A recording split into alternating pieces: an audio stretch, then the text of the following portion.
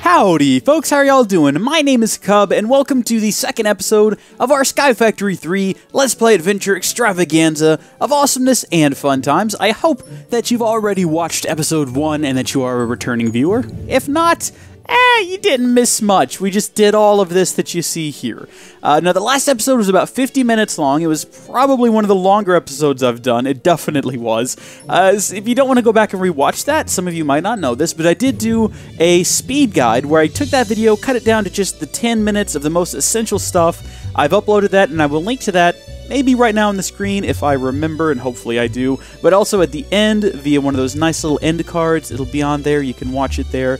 And I'm going to be doing the same in this episode because this is also going to be a longer episode. I've got a lot of things I want to cover, so we're going to be going at it for a while. That was came out not the way I had intended, but I'll also go ahead and do a speed episode after this one as well. For those of you who just don't have the time to spend, listen to me yammer on indefinitely. Completely understandable. Now, since the last episode, I've got quite a bit done. First off, I sifted a lot more cobblestone because we can just come over here and get like half a stack. Uh, very frequently. That thing is very quick. So I've got a chest here full of all of the different ore pieces that I've collected, and I've gone ahead and cooked up all of the iron ones. So we now have eight pieces of iron, so we're not doing too bad for iron. Although Later in this episode, I'll be showing you how to double your output from the ore pieces. That's going to be really handy. Next up, we've got, I built a few more furnaces. They've just been cooking up random things. Been focusing on trying to get more mini charcoal. Uh, so 13 mini charcoal, that's 13 silkworms. Not the best food, but I've been hungry. So, you know, it works. Moving on from there, I think that this episode, we're to start off with a bit of automation. And this is by no means an extensive form of automation. This is something that you can do very easily very early game. We're just going to build ourselves chests. We're going to drop that down right here, and then we're going to build ourselves another chest. Uh, again, very easy. Nothing too difficult. You've probably built chests before. We're going to grab our iron. We've got eight pieces. Uh, we just earned an achievement, acquiring hardware. I'm not sure why. It's not the first time we've cooked up uh, iron before, but you know, I'm not here to question it either. There we go. We're going to get ourselves a hopper. So right now, it looks like I was under the impression that this would hold an entire stack, but it looks like it maxes out at 32 pieces. So what we're going to do is just plop that down, making sure to aim it at the chest so it empties directly into the chest. And now it will keep producing cobblestone, and you can actually see the rate at which it produces it. So one every, what, two or three seconds? Not bad, and it'll just do that indefinitely in the background while we do other things. We don't even have to think about it, it's just happening. And the next thing we're going to do, it's a good thing we've got some additional iron because we're going to need it. I'm going to show you a couple of different tools that we can build to help with aesthetics. And the reason is I'm going to be doing quite a bit of building here in just a minute. We're going to have one of those beautiful Minecraft replay uh, mod enabled panning shots. I've got a lot of stuff to build before we get into all of the cool modded items I'm going to be showing you. So let's go ahead and take a look at those neat aesthetic things. Not necessary. I, this is very different than any other episode 2 I've done for any other Sky Factory series. And I like that. I like that this series is a little bit different than Sky Factory 1 and 2 and 2.5. This is, it's very different. The, the pack is different. I want the series to feel different as well. So the first thing we're going to look at, and the thing that I'm going to be using uh, mostly, is the Builder's Wand. Now, when you type in wand, there's a lot here. Your eye will probably be drawn to this one, the actual Builder's Wand from Extra Utilities 2. As you can see, it's a bit more on the expensive side. It's a gold ingot, it's magical wood, which is a bookshelf, and gold, which is all of these different items. We're not going to be able to build that today, but we can build one of these more basic wands, including, I mean, we don't have any diamond, but an iron wand is very simple, and a stone wand. Now, if you look over here, you'll see that the mode is horizontal, the fluid is stop, the max is 5. Really, the only one we care about there is the max. So 5 blocks. That's the maximum amount of blocks a stone wand will place. Not before it breaks, but just in one go. Iron is up to 9. I think we're going to go ahead with the iron wand. We definitely have the resources for it. I don't want to use all of our iron up. Kind of want to hold on to some of it. But there we go. We've got our iron wand. And this works exactly like you think it would. If we put down a row of cobblestone, and then we just come over here. Look at that. We got a nice grid. Cool. And uh, it only works horizontally, unfortunately. As you can see there, it doesn't work vertically, like we can't build upward. But that's fine, because I'm going to be mostly building it, platforms with it. And now that we've placed all that down, and I'm thinking about it, we might as well go ahead and grab our hammer and turn all of that into gravel. Might be handy later. We're going to go ahead and put all of these items away, as well as the iron wand. We'll just set it up here. We don't need it right now. The other things I'm going to show you are chisels, and there's actually two different ones in this pack. I'd also like to show you the saw. It's the only saw in the pack. Unfortunately, it does require two diamonds, so we're not there yet, but hopefully soon. So the two chisels I'm going to show you, we'll start off here with this one, and then they look similar, but that's just because of the texture pack that I'm using. If you'd like to know what it is, just watch the intro again. It's right there at the beginning. So this is the this is my favorite chisel, and this one is the one we're going to be using to. Uh, if you hold it, you right click it, it brings up this grid, and as you can see, any item you have, you can transform it into a different looking block. You can turn this into look at that, a cobblestone big tile. It looks nice, it looks clean, looks better than cobblestone. And if I'm not mistaken, you can also use it because we use a lot of slabs. I think you can also use it on slabs. No, you cannot. I am most definitely mistaken. What we could do is we could turn an entire block of wood, we could chisel a whole block of wood and then use the saw to cut it up into slabs, but again, we don't have two diamonds. Oh, look, a description. Lovely. Uh, that's not going to help us, though. The chisel, I'm definitely going to use. It's it's great, and you can use it on glowstone to make glowstone look a lot better, because glowstone is hideously ugly, but it does a lot of really cool stuff with glowstone. So that's the first chisel. The second one is a little bit different. Now, I've never played with the Chisel and Bits mod, which is where this particular saw comes from. I keep bringing up that saw. We'll cover it one day, I promise. But uh, it's a little bit different. I like it, though. It's pretty cool in what it does. So we'll get this one. And again, they do look similar. That's just the texture pack, I assume. I haven't seen it in vanilla. But what you can do with this one is if you hold it in your hand, you'll notice it highlights a little block. You just left click and you can chisel that block out of there. Look at that. So you can chisel out little individual blocks and you do collect them and you can put them back if you want to. So if you mess up and you decide you want to change it, you can put them back in there or you can put them off by themselves in the world. I'm not going to do that because they're a bit of a pain to pick back up, but that's actually really cool. If you hold down the left alt, so that's the alt key next to the uh, space bar. On Mac, I'm not sure what that would be, but you have your other options here. So we can go to large cube and we just take a big old chunk out of there. Check that out. And that gives us a ton of little bitty chisel cubes. I don't know how long it takes to put those back in there, to be honest with you. I'm not entirely sure how this mod works. I just noticed that this was a thing and thought, oh, that's pretty nifty. Let's go ahead and get rid of this block if we can. Oh my goodness, what great. It looks like we did get the whole no, it's a chisel block. Well, unfortunately, I mean, as cool as these things are, they also take up a lot of space. I have no desire to hold on to a bunch of little chiseled pieces, so we're just gonna throw them off the world. I was just a piece of cobblestone. But again, that is the left alt key to pick what you want to do with it. I think planes is the most useful, so what we could do... Hmm. Hmm. I was gonna say, we could get an entire block of plank. Entire plank block? An entire piece of plank? Would you call this? We can set this up to plane, and then we can just take off a whole plane.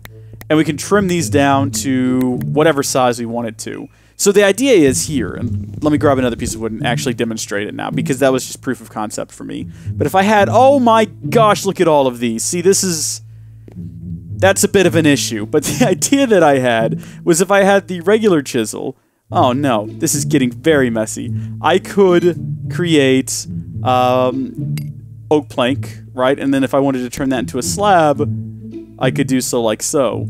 Doesn't look like it's going to work though because I think our inventory is full. So let's get rid of some of this stuff. Ah, of course we do have the trash can right here. What? I did not even realize that that was a thing. So when we leave, is it all going to be gone now? Yes, it is. Okay, that's really handy. Look at that. That's a bonus tip there for you. Just open up your uh, inventory, go to trash can, shift click items in there, and when you leave, they're gone. That's really useful. It doesn't look like we can actually chisel this, though. I mean, it's coming... Oh, no, there it goes. So you could do this if you wanted to create slabs that way. I wouldn't recommend it, though, because, oh boy, does that leave just a whole bunch of whole bunch of this stuff you got to deal with. Look at me already forgetting that this trash can exists. You know what? It was a fun experiment, though. So I'm probably not going to be using this particular chisel very often. It's cool.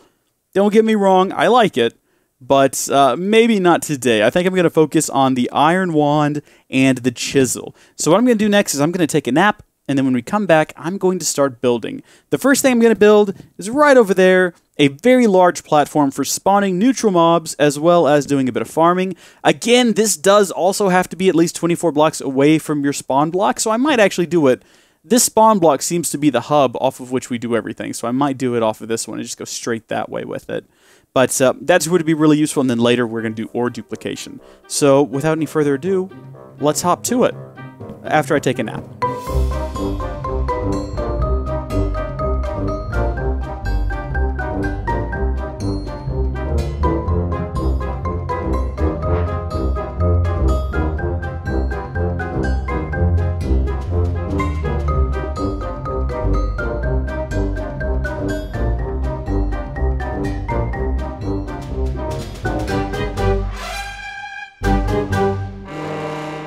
Alrighty, folks. Well, I gotta say, this did not go the way that I thought that it would. Many of you may have noticed I did build it a little bit off center, but I fixed that. I also wasn't entirely sure how I was going to do any of this, but at the end of it, I just kind of winged it, and I gotta say, I'm happy with the way it turns out. I know some of you won't like it, but I like the way that these uh, fences rest on just one pillar on either corner. I like the fact that it's a little bit longer than it is wide. Uh, it's just, it, I don't like things to be square. I know that that sounds weird. Like, I'm fine with them being symmetrical, but square just drives me crazy. I like this. I think that this looks pretty good. We got a few steps we got to take now, though, to really get it ready for planting and harvesting crops. I was going to say harvesting animals, but I guess we're going to be doing that as well. First off, while you were sifting dirt, you should have come across a few of these right here. These are grass seeds, and they look just like ugly little brown something or another. Not entirely. We won't elaborate any further, but it's grass seed. If you right click, puts down a piece of grass. We're going to put these around randomly. It doesn't really matter where in particular you put them, because over time they will eventually spread and create more grass, so that's great. We're going to leave this area lit with the torches for now, although uh, some of y'all might have noticed at one point I accidentally chunked my chisel off the uh, the side of the world. That was a mistake. That was not intentional, I promise you.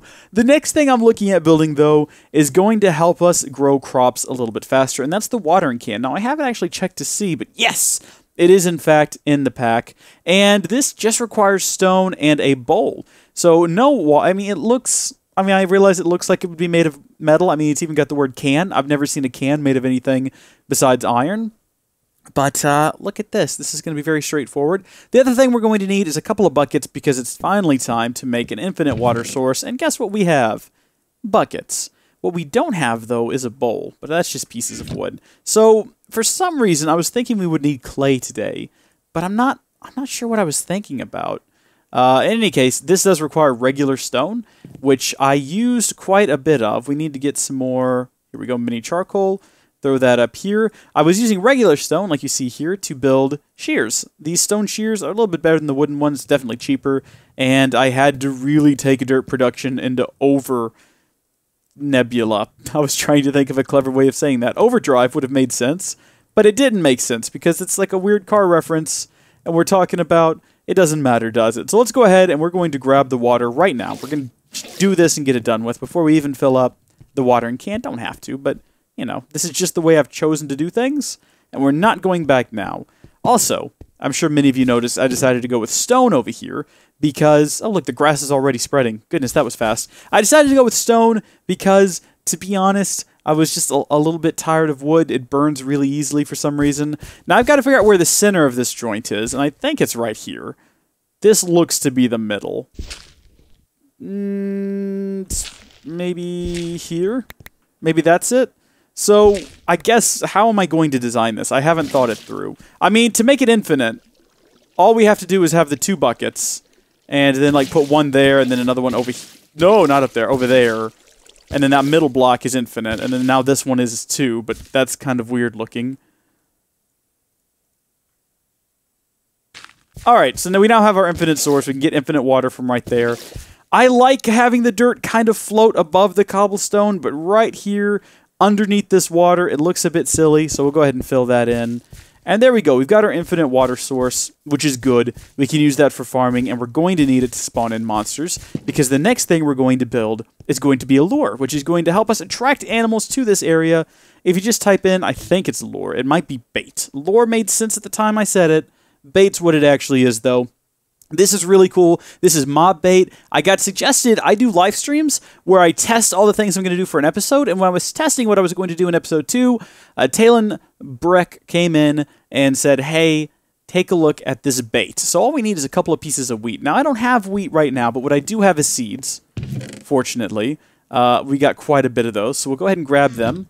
We'll come back up here, and ooh, you know what I forgot to do was fill up the watering can, so we'll do that while we're up here as well. And really, if you don't have a watering can, you're going to want to make one. It's going to speed this process up a lot. Just go to your water source, right right click it.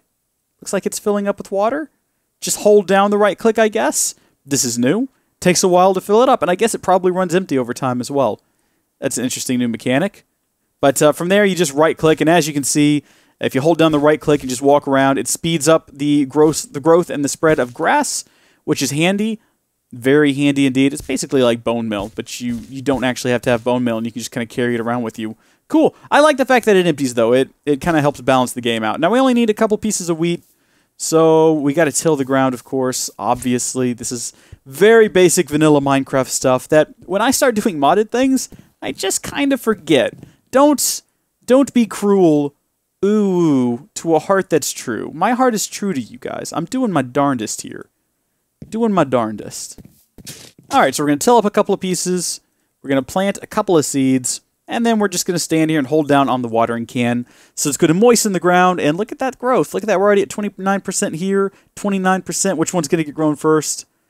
Literally only time can tell. Although it kind of looks like maybe this one. Ah, there we go. All right, so we already got one piece. All we got to do is right-click on this one, and boom, there we go. We get the seed, we get the wheat, and it leaves the seeds planted and growing more, which is very, very handy. Now, I haven't figured out yet how I'm going to do this. I think we might have farming over here to either side and then animals in the back. I haven't really sectioned it off, though. I've got some extra acacia here, so I can kind of just mock it up a bit, but maybe a farm over there, a farm over there. We don't really need fencing to represent where the farming is going to go and then kind of over. Ugh, that water source is a bit of a pain, isn't it? it maybe I need to build like a fountain or something. We'll, we'll figure it out later. For right now, though, I say we just put this right through the middle of it, and we'll have the animals on the other side. Yeah, you know, we'll work out the specifics later. For right now, we're going to take our two pieces of wheat, and there's some rules when using cow bait. First off, you don't have to use it. If you just give it time, eventually animals will spawn over here.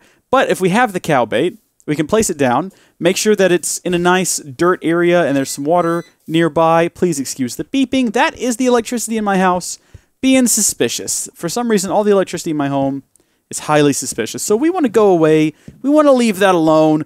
We'll just give that cow time to come by on his own. Again, you don't have to do this. It monster or uh, mobs, friendly mobs will eventually spawn over time, but trust me, this is much faster. And in fact, while we're waiting, Let's just take a poke over here and see what these guys are up to. How are you guys? Are y'all ready to be animated? Possibly next episode? Oh boy, I think they're... Oh, look at that. The cow was there. The cow was there. That was quick. Fantastic. So we've now got a living animal in our base. We can kill it. We can eat it. I think I actually want to go for another one, though, so that maybe, you know, we can do a bit of breeding. And then kill the offspring. And then use the dead offspring as clothing. That sounds like a fun time to me.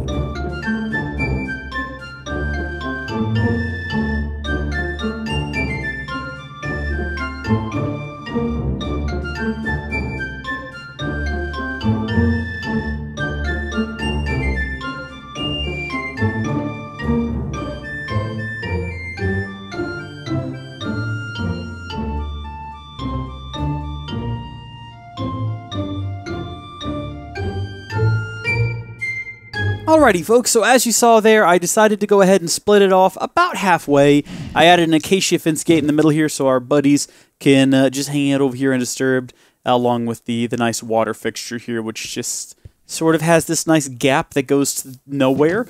And then back here, I utilized some stone stairs to get this pretty cool little design. A nice little walk path here I'm a fan of. Uh, I've got some water as well. The next couple of things we need to do is first off, we need to establish what we're going to plant over there. And also, we've got to. eh, Well, you know what? Let's just figure out where we're. One step at a time here. So, seeds, we're going to need more of. Carrots will be useful. Melons, maybe. Pumpkins, maybe.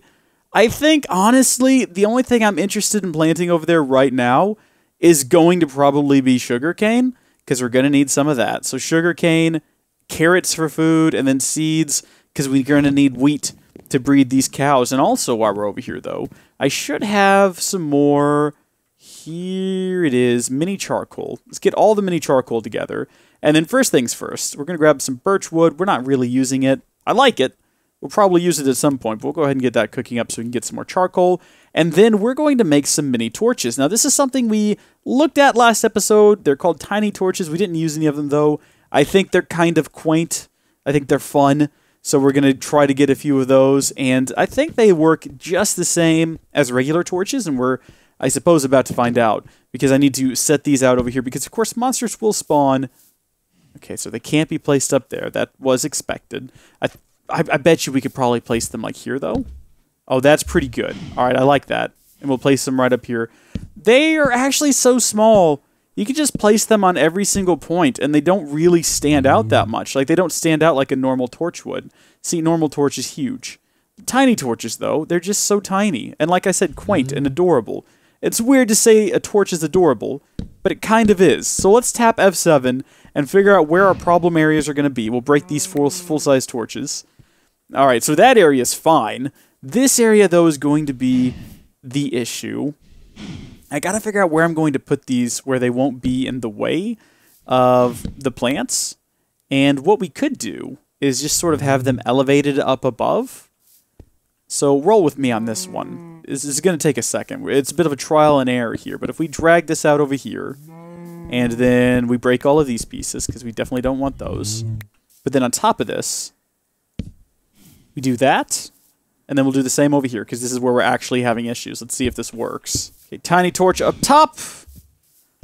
Eh, it leaves a bit to be desired. Let's take a full-size torch, and we'll see how that does if we do the same thing. And now, of course, later on we'll have glowstone. We can just put some glowstone panels up. So that does seem to do a little bit better, but still, it's not great. Of course, the option is always there to just break these pieces off the top and put down a torch. Maybe not a full-size one, though. I mean, if that's not going to take care of everything, we might as well just continue to use the little tiny ones. So the tiny ones definitely don't cover as much area as the larger companions, unfortunately. They do look pretty sweet, though. Hmm. All right, I think I know what we're going to have to do. I imagine if we break this corner piece out and we replace it with one full-size torch... Oh, it's so, so close to taking care of it. We can do the same back here. And again, so close. Hmm. Oh! Ooh! Oh, I just had an idea. Okay, let's do this. Let's put this guy down. And honestly, we should leave one of these over here anyway. We need to have a crafting table over here. So we'll plop it down maybe here? Yeah, that'll be good. That's kind of out of the way. What if we build... Here we go. Cobblestone wall. Follow me. Follow me on this one. Let's let's go ahead and replace these uh, with the acacia. We'll put the acacia back. Okay, so the idea is these won't stand out as much. Like, it kind of placed in between. Ugh, I don't know, though. Yeah, it doesn't really work, does it? Although, you know, it does kind of work. This kind of works. Kind of. Hmm.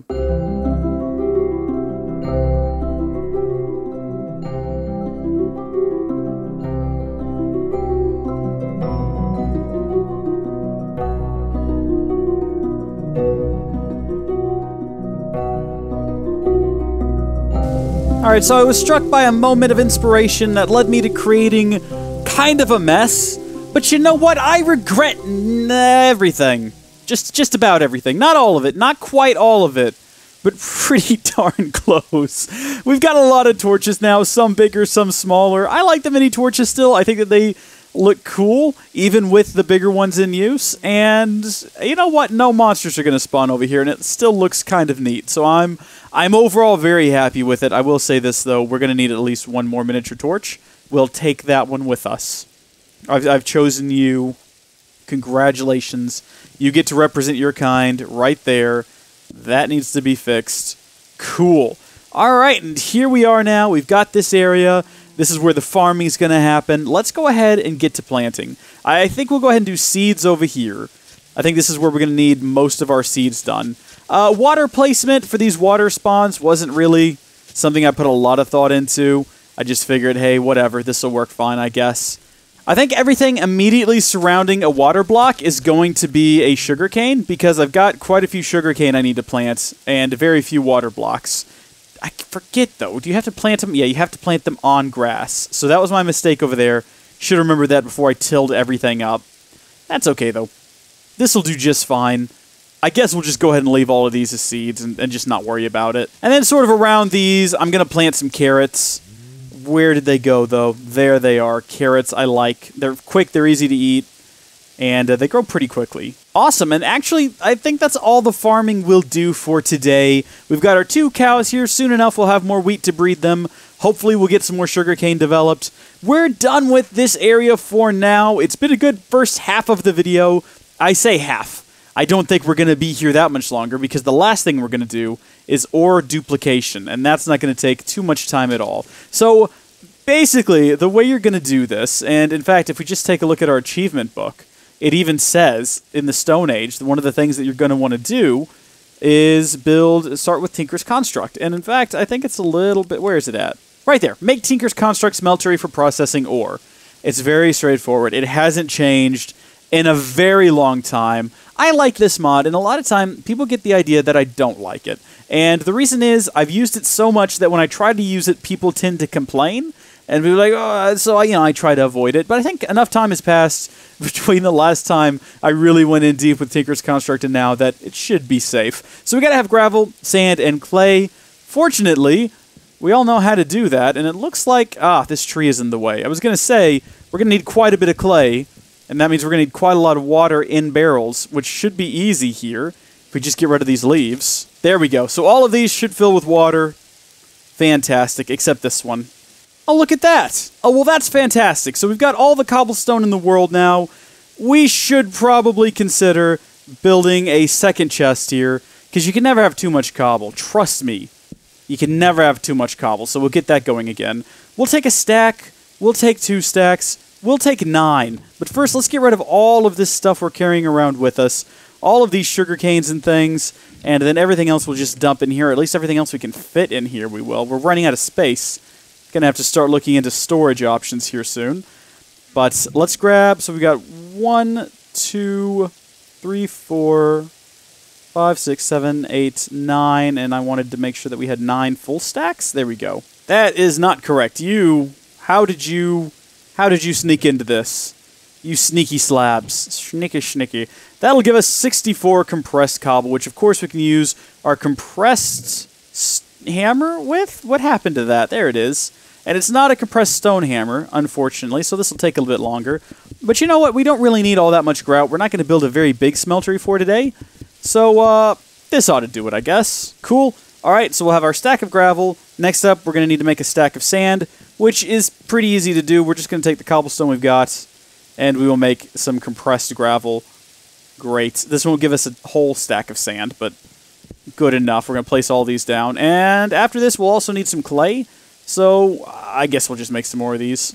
Cool. All right, stack of sand, and then we're going to take the 32 sand we have left. And you know what? We don't really need all that much dust because for every single dust, you actually get four uh, where's my regular? There it is. You actually get four pieces of clay. 4, 8, 12, 16, 20, 24, 28, 32.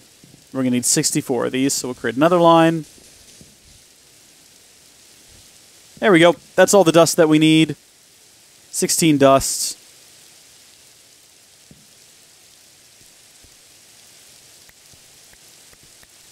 Cool. All right. So in order to get the bricks for the seared, well, for the smeltery, that's the recipe.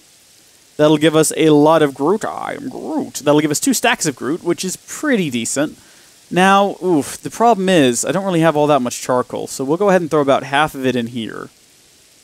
along with, I guess, 16 pieces, and that's going to get underway. In the meantime, I'm going to cut down these trees. We're going to make ourselves some more charcoal. Other things we're going to need is a bit of glass, so I'm going to put uh, just a few pieces of charcoal, mini charcoal in there. This should give us five more pieces of charcoal. We got 13 in there. That'll do it. All right, so we got our first four pieces of seared brick, which will give us, of course, one single seared brick. We might not want to do that just yet, though, because we're going to need the regular bricks for the recipes. We have to build a controller, something to hold the lava in. I'm going to go with a seared tank. Then we're also going to need to build a casting table.